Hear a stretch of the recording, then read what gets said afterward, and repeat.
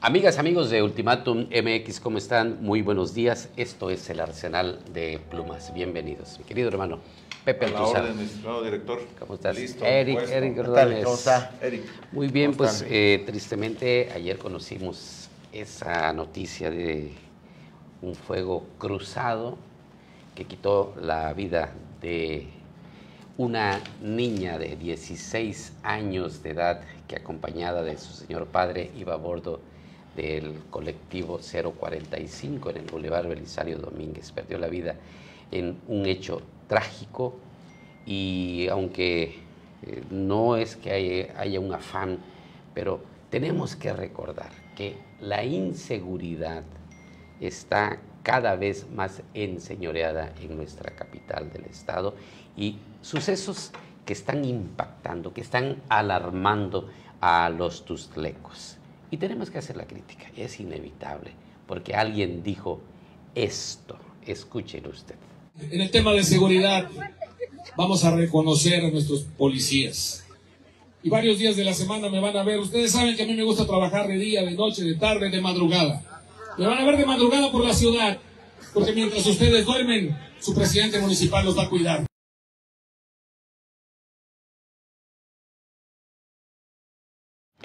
Pues creo que se durmió. Algo, algo pasó con Ángel Caído Torres Culebro, el presidente de Tuxtla, que dijo que le gusta trabajar de día, de noche, de tarde y que de madrugada. Él iba a estar recorriendo seguramente pues, a, a bordo de las patrullas la capital y nosotros íbamos a estar seguros porque él nos iba a estar cuidando. No cuidó a Yuridia, esta niña de 16 años de edad que pierde la vida, iba de, acompañada, como ya le dije antes, de su señor padre. Hay todo un escándalo desde anoche, preocupación, eh, hasta este tramo, hasta el Parque Morelos, como conocíamos antes.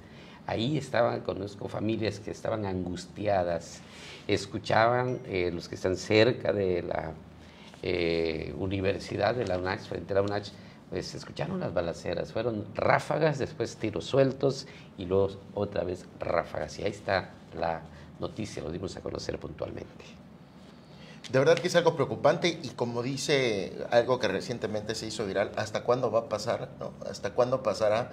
Que eh, como dice también el, el himno a Chiapas, que retornarán las horas serenas y que en Tuxtla Gutiérrez, como usted bien lo mencionaba, bueno, ojalá no perdamos esa capacidad de asombro ante las circunstancias como esta que se presentan cada vez eh, más y preocupante también la zona, una zona de comercio, una zona habitacional y una zona por la que desfilan miles de jóvenes a lo largo de todo el día. Muy preocupante. El impacto que socialmente tiene estos acontecimientos es muy grave, sobre todo por un estudio que ahorita se está llevando a cabo, que a partir del 2006, esa generación que nació con la violencia de aquella guerra que se le declaró a las bandas organizadas, ahora esos jóvenes tienen ya de alguna manera cierta madurez, pero tienen ese sentido de violencia, porque lo, lo vivieron ellos de niños o lo vivieron sus padres y eso se va heredando y lo que se está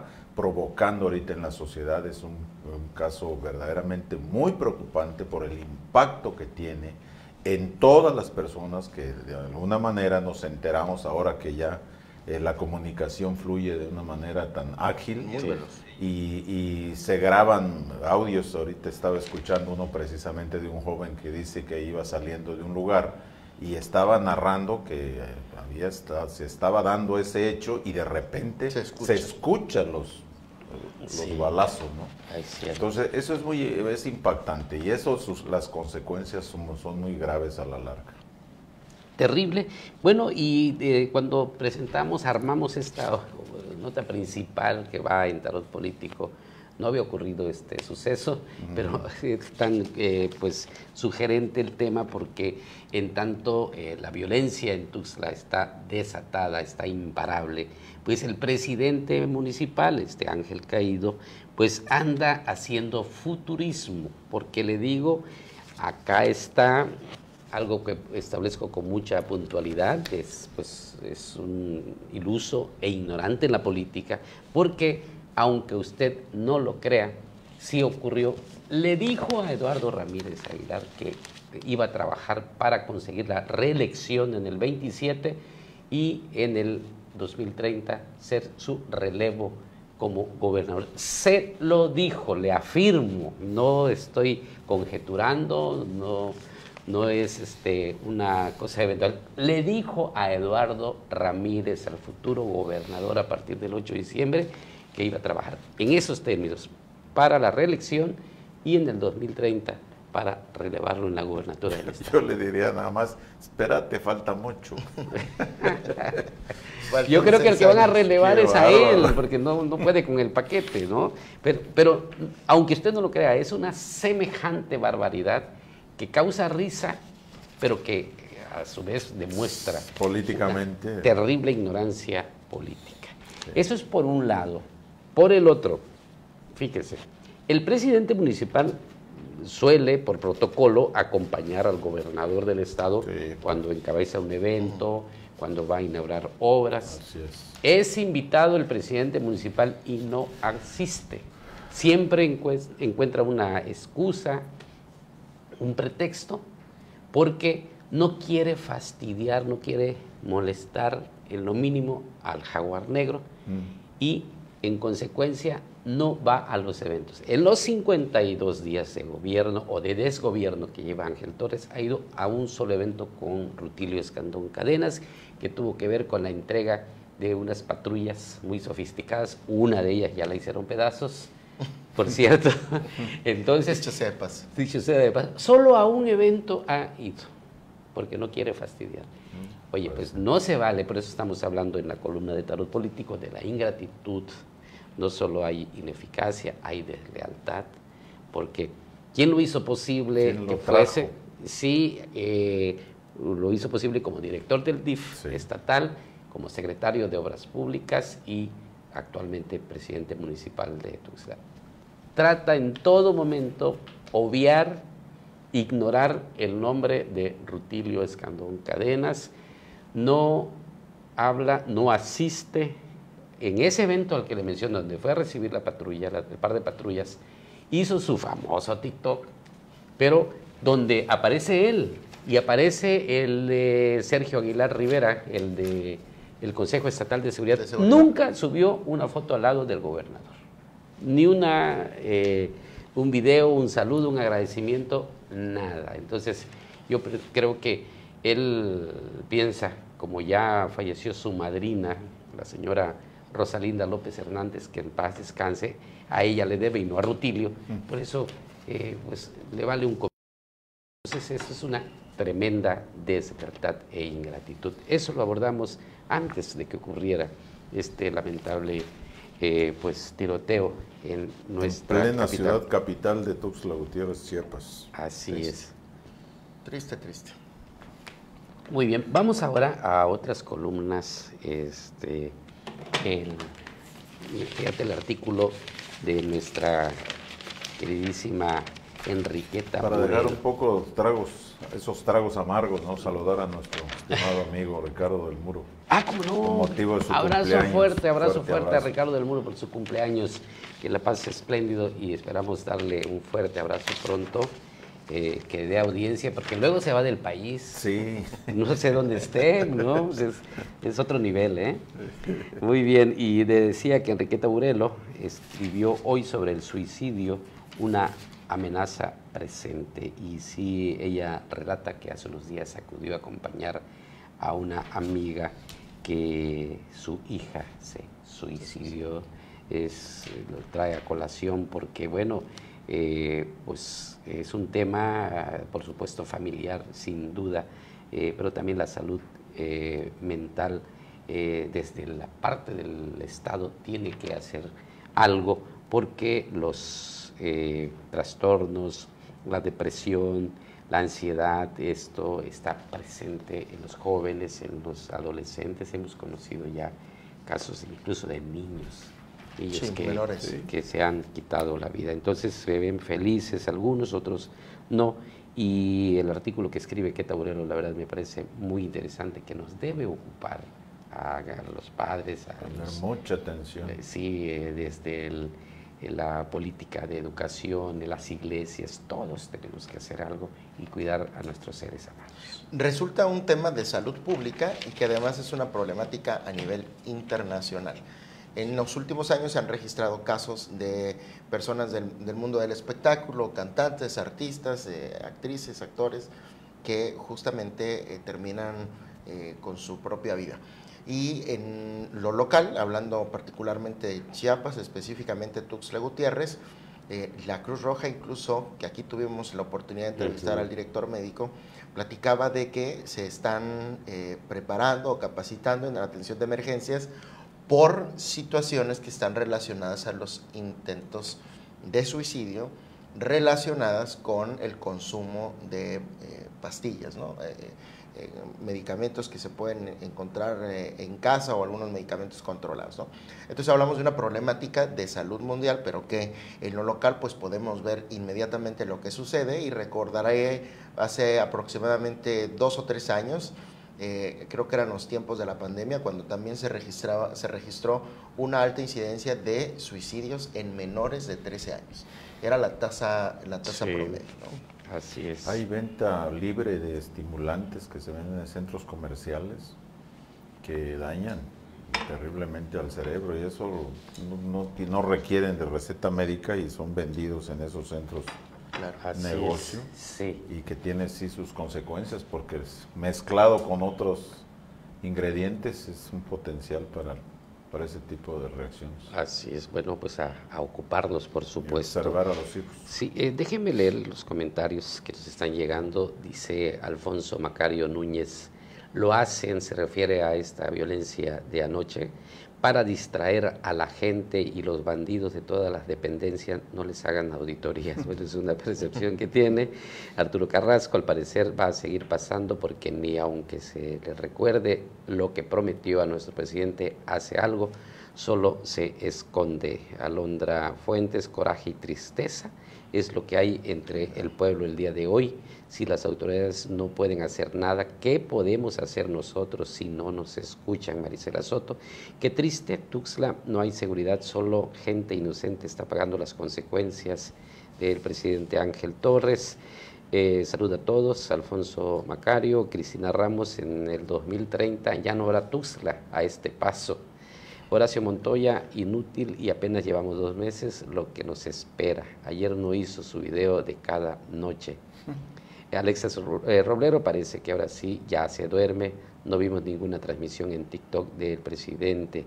Dios no lo quiera. Eh, por favor, no iremos a la ruina total. Y Ángel de Luz dice, mm, ya no hay que salir a partir de las nueve de la noche con la familia, no estamos protegidos.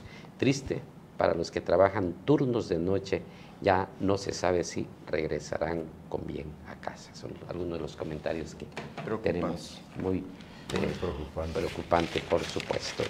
Y vamos ahora a identidad política, economía mexicana, pues estás hablando de eh, presupuesto de la doctora, de la presidenta Claudia Sheinbaum. Adelante, por favor. Sí, está ahorita, en de hecho ayer fue la comparecencia del secretario de Hacienda eh, de la O, eh, Rogelio Ramírez de la O. Ramírez de la O. Sí, quien este, estuvo ante los diputados eh, y se hicieron una serie de, planteamientos relacionados con ese tema, porque pues se le acusa de que hay una situación de, no financiamiento para algunos programas que, que les interesa y sí demasiados recursos para otro. Una explicación eh, muy precisa del secretario de Hacienda, con mucha paciencia, mucha calma para responder. Pero siempre es parte del tema que sucede en cada gobierno, de, que unos están de acuerdo y otros no. Hay programas que, que, pues definitivamente ya prácticamente los exterminaron por falta de financiamiento y el problema es sostener un aparato burocrático que pues no ha sido eficiente en algunas áreas y que pues por intereses, por mantener su, su, feudo, su sector, pues siguen criticando. Eh, y luego en el tema de, de, la situación económica del país, pues aseguró el secretario de Economía, Marcelo Ebrard, que el tercer trimestre de, se captaron 2.100 millones de dólares de nuevas inversiones, cifra que superó los 900 millones de dólares del periodo anterior. Aquí lo que llama la atención, y de hecho eh, fue parte de lo que, de lo que yo comenté en el, planteamiento de análisis político, que este, aún con la inseguridad que prevalece. Y lo señala, dice, en temas relacionados con el crimen organizado, la falta de seguridad y de Estado de Derecho, señaló James Robinson, Premio Nobel de Economía 2024. Pero aún con eso se captó una economía, hay interés en invertir en México. O sea, ¿qué pasaría si estuviéramos en otra circunstancia? ¿No? Sería mucho más favorable, porque a pesar de ello, es, algo que sí. Dice, por ejemplo, dice esta señora que se llama Altagracia Gómez, coordinadora del Consejo Asesor Empresarial del Gobierno de México. Lograr que la economía mexicana crezca entre 4 y 5% requiere de la inversión extranjera directa eh, supere los 100 mil millones de dólares. Esto es posible en los siguientes dos o tres años si se trabaja en el desarrollar la infraestructura que requiere el país. Y sobre todo, en ese términos, dice, eh, sobre todo en, en, ese dato que decíamos sobre la cuestión de la inseguridad, que pese a ello, estamos todavía eh, pues siendo favorecidos con ese interés de que haya inversión extranjera. Eh, la situación de, la llegada del presidente Donald Trump, ahorita presidente electo de Estados Unidos, pues iba a provocar una crisis muy seria en México porque dice que podría provocar una crisis migratoria en nuestro país, por supuesto, porque eh, está el tema de que los no los van a dejar ingresar al territorio norteamericano y van a expulsar a quienes están en ese territorio. Entonces, la situación de la frontera sur, en el caso de México, y la del norte eh, de nuestro país va a ser una situación compleja. Dice, este, alguien dijo, del, dice Juventino Rocha, señaló, dice, estamos listos para la defensa, ya tenemos contactos con abogados y otras organizaciones, esperamos que en el discurso y las acciones sean menos severos. Esto en relación a las declaraciones que ha hecho el próximo presidente de Estados Unidos. En el tema del INE y el presupuesto, pues la verdad que, híjole, de 32 mil millones se lo bajaron a 8 mil. Y tuvo que, sí, ahora, ¿qué está resultando de ello? Que ya en común acuerdo, tanto el INE como algunos miembros del Poder Judicial están queriendo posponer la fecha del Así lo pidió de llevar a cabo. ¿no? Exactamente. dos meses Cambiar la fecha, para, no, para octubre. Para, perdón, para octubre era de... Sí, de junio. Pero eso implica hacer una reforma. Así una Nueva reforma. Para junio, de, sí, pasarlo hasta octubre. Pero en fin, cada quien viendo, viendo por sus intereses. Exactamente. Así es. Eh, eh, bueno, eh, dice aquí el tema que, que, se ha dicho, en el caso que dijo Arturo Saldívar, reconoció que hay poco interés en registrarse y acusó que algunos juzgadores están amenazados desde adentro del Poder Judicial para que no se inscriban. O sea, es un una rebatinga, un manoseo, terrible. Y que eso causa problemas políticos y económicos, eso sin lugar a duda. Y, no estamos para esas cosas realmente. Debe haber un poco más de interés, eh, y más bien interés común y no personal en este tipo de cosas. Sí.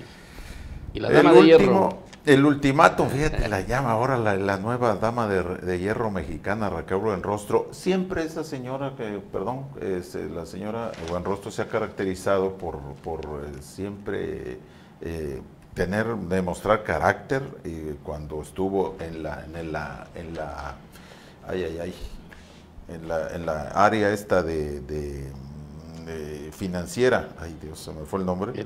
este es donde está ahorita Pablo Gómez. Sí, sí, cómo no.